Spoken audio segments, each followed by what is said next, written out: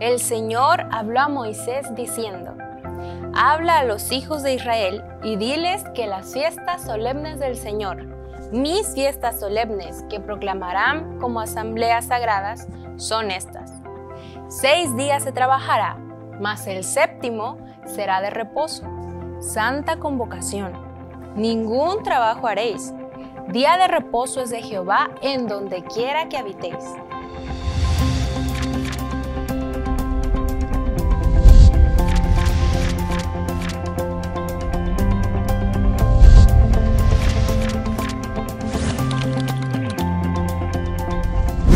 Bienvenidos a un nuevo episodio de la Escuela Sabática Universitaria. En esta ocasión analizaremos la lección 10 que lleva por nombre el descanso sabático. Y bueno, me gustaría que eh, para que conocieran a quienes vamos a estar participando en este estudio, nos presentáramos y dijéramos cuál es nuestra estación del año favorita. Yo voy a comenzar y eh, mi nombre es Uriel Suárez, yo trabajo aquí en la Escuela de Derecho de la Universidad de Montemorelos y mi estación favorita definitivamente es el otoño. Bueno, yo soy Javnia, soy educadora, trabajo en UM Virtual y mi estación favorita igual es el otoño.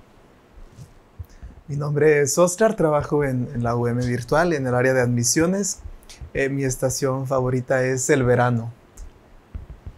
Mi nombre es Daniela Frutos, eh, colaboro en la maestría en salud pública y mi estación favorita definitivamente también es el verano. Ah, mira, dos, dos otoño, y dos en verano. Dejamos a la primavera y el invierno fuera. Pero bueno, ¿qué les parece si antes de comenzar, Jamnia, nos diriges en oración? Sí, claro. Vamos a orar. Padre nuestro que estás en los cielos, gracias Señor por, por este momento. Te rogamos tu presencia aquí en el estudio. En el nombre de Jesús. Amén. Amén. Pues bueno, en esta ocasión, eh, compañeros, vamos a retomar el tema del descanso sabático. Ya en las lecciones anteriores hemos estado hablando de algunos elementos importantes del sábado, ¿no? Como su propósito, su origen, su función en nuestra vida. Y en esta ocasión eh, vamos a hablar de otros elementos y vamos a identificar el sábado como un punto de acceso a un sistema de creencias que nos van a, a llevar a concluir que la ley moral de Dios es permanente y es aplicable para todos, ¿no? Para comenzar este estudio me gustaría eh, que tal vez Oscar nos ayudaras a, hablar sobre el hecho de que somos creados a la imagen de Dios. ¿Qué implicación tiene esto? ¿Cuál es el rol del hombre en, la creación? Eh, bueno, el hecho de que seamos creados eh, a imagen de Dios debe colocarnos a nosotros en una eh, ¿cómo se puede decir? Una situación, un, estado de ánimo eh, emocionante, porque Dios nos creó con sus manos, como lo vimos en la lección pasada, y a su imagen.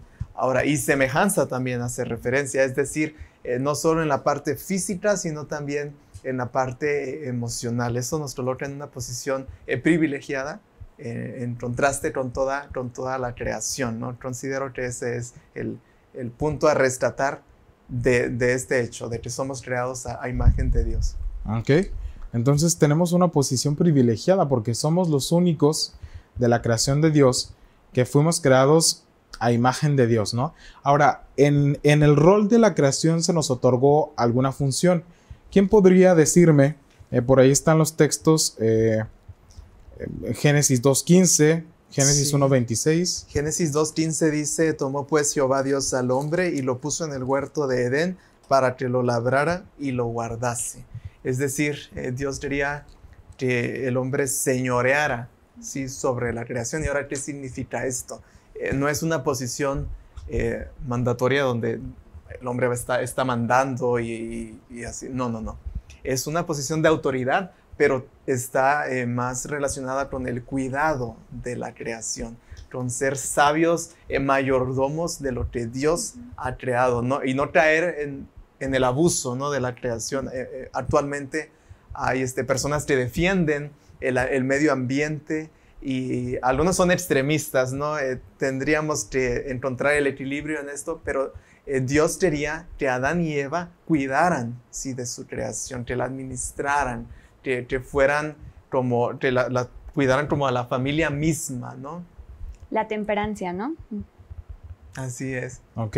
Y, y bueno, definitivamente el tema de la ecología en los últimos días eh, impacta tanto el aspecto social, el aspecto de la salud, ¿no? Ya todos los estudios de salud eh, pública tienen por ahí una estadística de calidad del aire, incluso ha afectado relaciones entre países porque resulta que la contaminación de China llega a afectar el continente americano en cierto tiempo y espacio y pues es un tema que nosotros eh, vivimos en el mundo, en el mismo mundo, vaya. Somos creación de Dios y estamos en el mismo local y los efectos de unos generan daños a otros. Entonces, eh, yo creo que si estábamos pensando hace ratito en tener una rúbrica de cómo tener el descanso sabático adecuado, podríamos incluir el aspecto del cuidado o de la mayordomía a la que hace referencia Oscar para eh, considerarlo nuestro sábado, ¿no? ¿Cómo estoy cuidando? ¿Qué actividades estoy llevando a cabo en consonancia con eso? Y bueno, nos quedamos con que no significa explotarlo, significa administrarlo.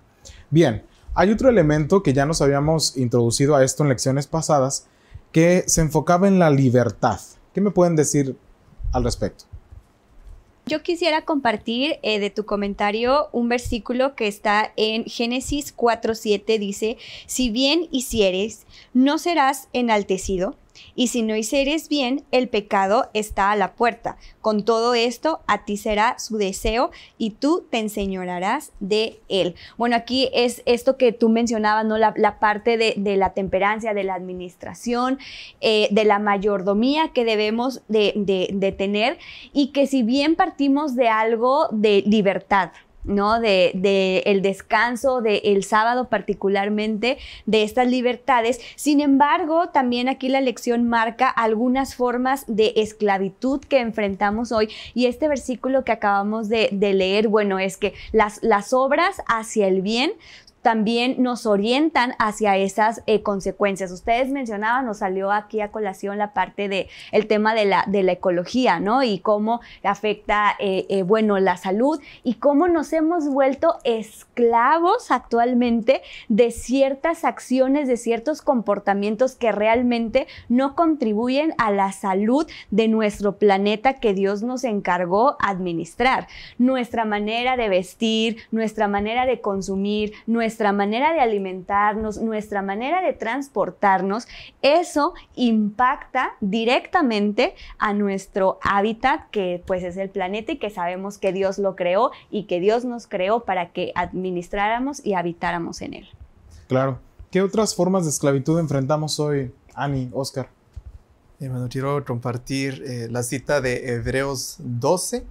El versículo 1 dice, por tanto nosotros también teniendo en derredor nuestro tan grande nube de testigos, despojémonos de todo peso y del pecado que nos asedia y corramos con paciencia la carrera que tenemos por delante. Eh, pues en el Antiguo Testamento nosotros vimos la historia del pueblo de Israel cuando él fue liberado eh, de, de, Egipto, ¿no? De esa esclavitud y entonces se añade eh, un nuevo motivo para guardar el sábado, no solo la creación, sino la, redención, la liberación. En la actualidad, nosotros podemos estar esclavizados por un pecado y a veces sin darnos cuenta, porque recordemos que hay pecados que eh, cometemos de manera intencional, pero hay pecados que cometemos de manera eh, no intencional y aún así podemos ser esclavos de ese pecado. Formas tan sutiles de esclavitud que podríamos decir no soy esclavo cuando en realidad sí lo somos, ¿no? E, ahí habría que, ver pues toda una diversidad de pecados que hay que pueden esclavizarnos incluso en, la tecnología, en nuestros impulsos, en, nuestras emociones incluso tal vez, ¿no? Ok, qué interesante. Es otro, es otro aspecto a considerar. Bueno, vamos a hacer un pequeño corte y regresamos aquí a la Escuela Sabática Universitaria. Génesis 1, 26 y 27 dice, Entonces dijo Dios, hagamos al hombre a nuestra imagen, conforme a nuestra semejanza. Y creó Dios al hombre a su imagen, a imagen de Dios lo creó, varón y hembra los creó. ¿Qué significa que los seres humanos hayan sido creados a imagen de Dios? Tiene que ver con una totalidad tanto física, mental, emocional y espiritual. Un doctor en genética conductual, Dean Heimer, demostró que la espiritualidad se puede definir y cuantificar. Él concluyó que en nuestro ADN En nuestro nivel más profundo, nosotros los humanos somos seres que adoran. El sábado llena ese doloroso vacío en nuestro corazón para reconectarnos con nuestro Creador. No es un requisito legalista o una institución exclusivamente judía. El sábado es una celebración de la vida que Cristo nos ha dado y nos recuerda del cuidado que debemos darle al medio ambiente que nos rodea. Bienvenidos de regreso a este repaso de la Escuela Sabática Universitaria. Estábamos antes del corte conversando eh, sobre lo importante que es celebrar la libertad en el sábado, ¿no? Y habíamos concluido que, aunque nosotros no estamos en una situación de esclavitud política o de esclavitud física como en su momento estuvo el pueblo de Israel, podemos experimentar otra clase de esclavitud, ¿no? Ya se hizo referencia a la esclavitud al pecado. Y Ani, me gustaría que nos, que nos comentaras qué tipo o qué forma de esclavitud podríamos enfrentar hoy, de acuerdo con 2 de Pedro 2.19. Sí, en 2 de Pedro 2.19 dice, les prometen libertad, pero ellos mismos son esclavos de la corrupción, pues todo aquel que es vencido se vuelve esclavo de lo que lo venció. Es decir, que eh, nosotros podemos ser esclavos de nosotros mismos, esclavos de, nuestra mente, de nuestras pasiones, de la corrupción. Ok, bueno, habrá diferentes dimensiones entonces de nuestra vida que podrían esclavizarnos. Ahora no significa que vamos a traer una cadenita colgando, ¿no? Pero que de alguna manera nos impiden tener esa libertad, tanto física como mental y espiritual. Y digo es que la libertad es necesaria para poder descansar, ¿no? Que es el trasfondo de, del estudio de este trimestre y de pronto eh, la corrupción, hablando de un tema de ética, podría ser eh, algo que, te daña el trabajo, ¿no? El trabajo también tiene una, una finalidad de, satisfacción, ¿verdad? Necesario para el bienestar y de pronto incurrir en estas desviaciones como es la corrupción o como es eh, el pecado, tener esta, esta relación en donde la corrupción está sobre nosotros y nos tenemos que someter a lo que ella determine, que de eso se trata la esclavitud, pues podría resultar. Hace un eh, momento, Eury, mencionábamos lo de la tecnología, ¿no? Específicamente el celular y cómo nos hemos vuelto esclavos sin estar atados, como tú, como tú dices, pero sin el celular ya no salimos, sin el celular no podemos realizar nuestro trabajo, sin el celular no podemos comunicarnos y cómo llegamos a ese punto de estar dependiendo a, ¿no? Y, y, lo que nos genera cuando no, no lo podemos utilizar o al momento de que llegan correos, notificaciones, etcétera, que te generan, ¿no? Otro tipo de, sentimientos, de pasiones que también, si no los podemos controlar en, su momento, eh, ellos nos controlan a nosotros, que finalmente es la esclavitud. Claro. Y bueno, es importante considerar que sin importar que nosotros podamos experimentar alguna modalidad de esclavitud contemporánea, digámosle así, ya sea la tecnología, ya sea algún pecado, ya sea alguna situación como la corrupción, pues que así como Dios rescató al pueblo de Israel de Egipto, nos ofrece la oportunidad de ser libertos de esta situación de esclavitud, ¿no? Y el sábado definitivamente es este recordatorio también de que tenemos a un Dios que nos creó, que se preocupa por nosotros y que nos ofrece una oportunidad para liberarnos y para obtener el descanso a través de esa liberación. Pero bueno, hay, hay, una, hay un elemento que, que es súper descriptivo cuando uno lee el mandamiento referente al sábado, porque primero dice acuérdate del sábado, ¿no? No harás, te habla como a ti directamente. Pero después adopta una dimensión como referente a las terceras personas e incluso hacia, hacia, los bienes que tienes bajo tu dominio o los animales que tienes bajo tu dominio, ¿no? Que dice, el extranjero que está en tu casa, déjalo descansar, tu criado, tu sierva, todas sus familias, hasta los animales. Entonces, ¿qué podemos... Eh, ¿Qué sucede aquí, eh, Oscar? Eh, no sé si nos pudieras compartir Éxodo 23, 12, respecto de cómo Dios consideraba a los demás, además de los israelitas, ¿no? ¿Qué había de diferente entre un israelita y cualquier otra persona? Porque antes de ir a esa cita, ahorita quisiera eh, leer Éxodo 19, 6. Le dice, y vosotros me seréis un reino de sacerdotes y gente santa.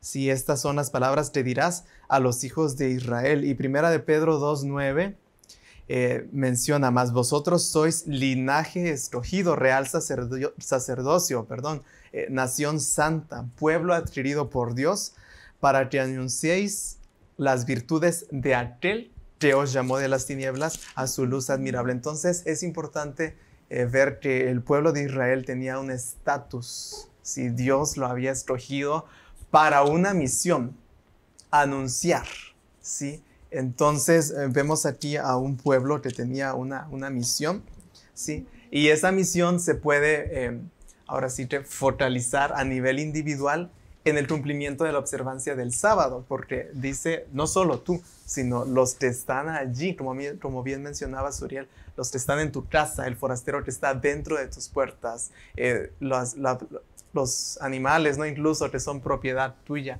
todo eso, ¿sí? Debe reposar en el día sábado. Y Éxodo 23, 12, voy a darle lectura. También nos menciona algo eh, muy importante. Éxodo 23, 12 dice, seis días trabajarás y al séptimo día reposarás para que descanse si tu buey y tu asno y tome refrigerio el hijo de tu sierva y el extranjero. Aquí vemos no solo eh, el beneficio eh, para la primera persona, ¿no? para, para mí, suponiendo como eh, padre de, familia, sino también para los que están conmigo. A ti, Dios dice, para que descanse tu animal, en este caso, tu siervo, tu extranjero. Vemos que el sábado es una bendición para toda la comunidad cercana a mí, en este caso. Ok trasciende, trasciende la responsabilidad de, descansar a uno y a los que rodean a uno o a los que están bajo nuestra influencia o liderazgo. Que es una bendición, ¿no? Que como, como ya bien comentan, no solo va directamente hacia nosotros, sino que eso también se extiende a nuestro entorno más cercano. Claro, concibiendo el sábado como una bendición, pues esta bendición se propaga a una eh, dimensión mayor. Vamos a consultar con el experto a ver qué nos puede decir sobre esto. Y me gustaría que reflexionara en de qué cosa es señal el sábado basado en Éxodo 31, 13, 16 y 17. Bueno, hay que decir que estos versículos son versículos de oro. Yo creo que en toda Biblia deberían estar marcados. ¿Por qué? Porque nos hablan de lo más valioso que es la relación, la relación con Dios. El Señor establece en estos versículos que se han referido de Éxodo 31, 13, 16 y 17, que el sábado es una señal de la relación que Él tiene con nosotros.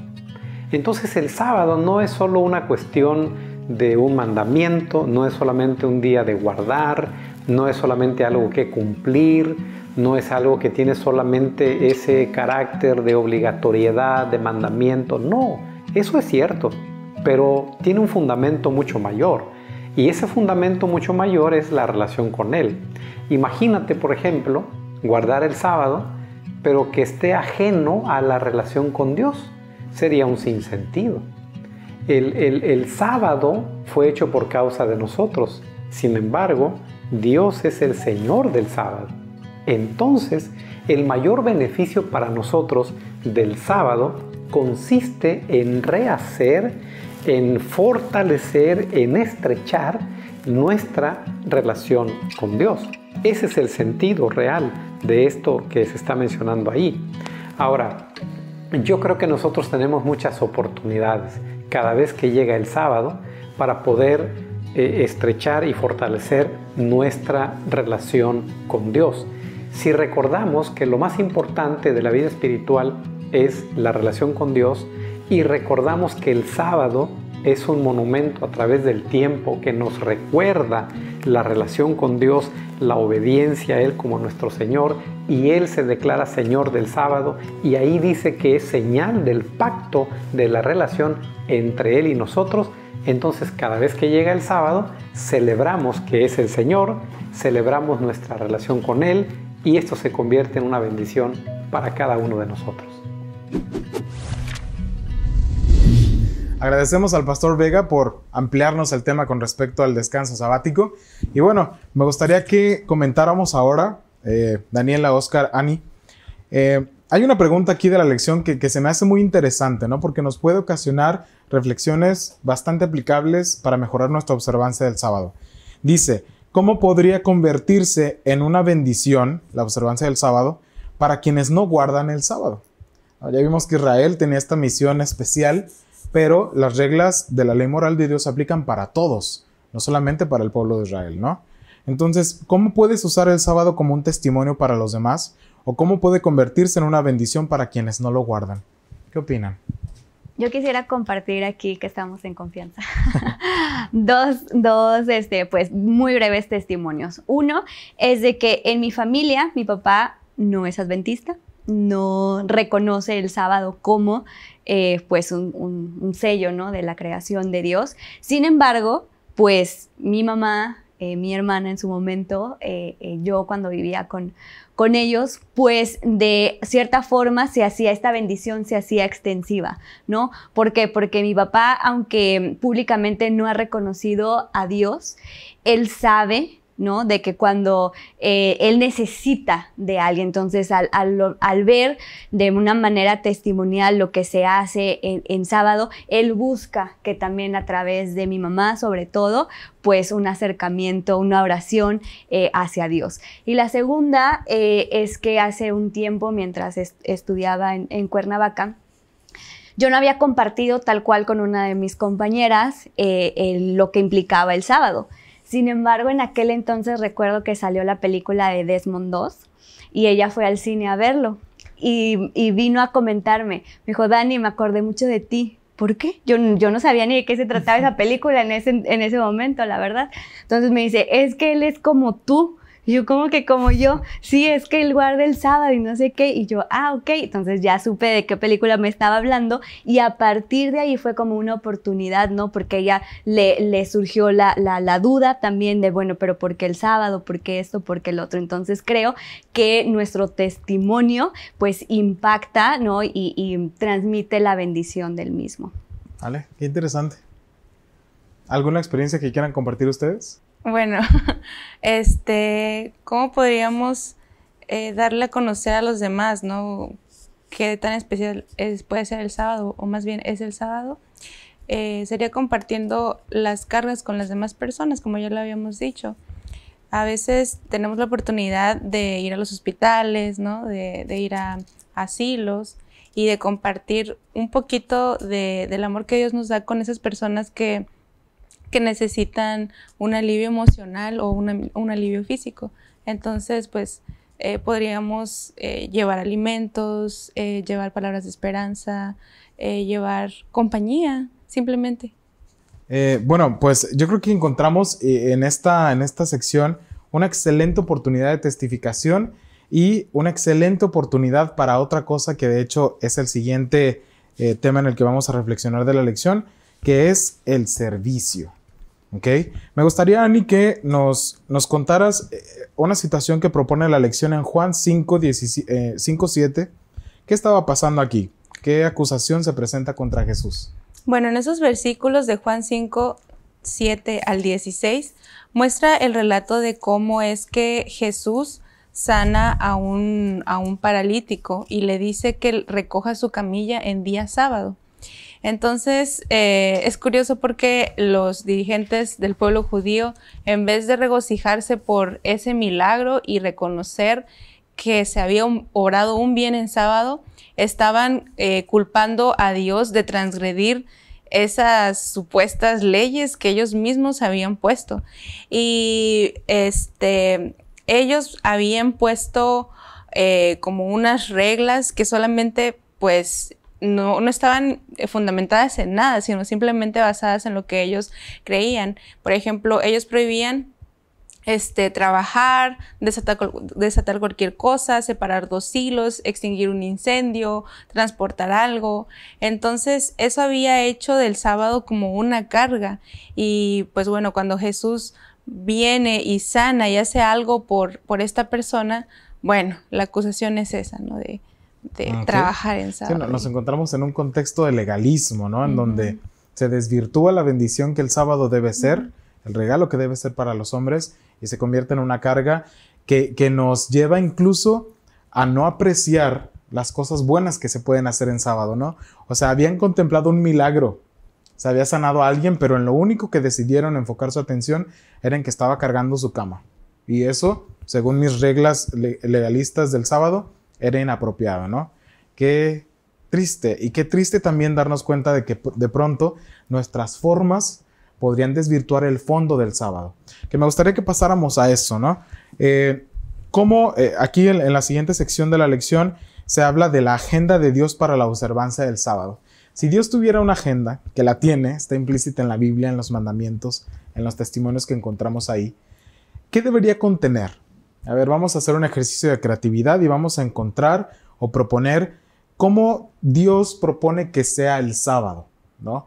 Eh, en principio aquí yo quisiera poner como primer elemento de la agenda el servicio. El sábado debe contener servicio para que sea un sábado eh, pleno, delicioso. Yo pienso que sería el motivo de estar gozosos, o sea, de ser agradecidos y tener ese gozo. Eh, yo le añadiría un momento en la naturaleza, sí, como, como parte de, un sábado. Ok. Me la ganó. Pero yo este, igual añadiría eh, la alabanza. La alabanza porque pues, ciertamente, ¿no? Aquí sabemos que el canto eh, tiene muchas virtudes intelectuales, físicas y mentales. No se eleva a Dios. No se eleva a Dios. como, como un instrumento de conexión, ¿verdad? El canto, la alabanza, la adoración. La lección nos propone revisar Isaías 58, 2 y 3. Voy a pedir que alguno me ayude a darle lectura para eh, ver cómo describe Isaías la agenda de Dios para la observancia del sábado. Isaías 58, 2 dice, que me buscan cada día y quieren saber mis caminos, como gente que hubiese hecho justicia y que no hubiese dejado la ley de su Dios. Me piden justos juicios y quieren acercarse a Dios. ¿Por qué dicen ayunamos y no hiciste caso? Humillamos nuestras almas y no te diste por entendido. He aquí que en el día de vuestro ayuno buscáis vuestro propio gusto y oprimís a todos vuestros trabajadores. Wow pues definitivamente nos hace reflexionar en lo importante que es que cuando nosotros planemos nuestros sábados, cuando nosotros pretendamos tomar acción en celebrar el sábado, en conmemorar la creación, tomemos en cuenta la agenda de Dios. ¿ok? Así que, pues con esta reflexión les quiero dejar, les quiero invitar a que ustedes también se pongan creativos para eh, diseñar la agenda del sábado. Sabemos que ahora la situación es diferente, los cultos son diferentes, pero podemos mantener el principio y ser objeto de bendición de el sábado y de guardarlo.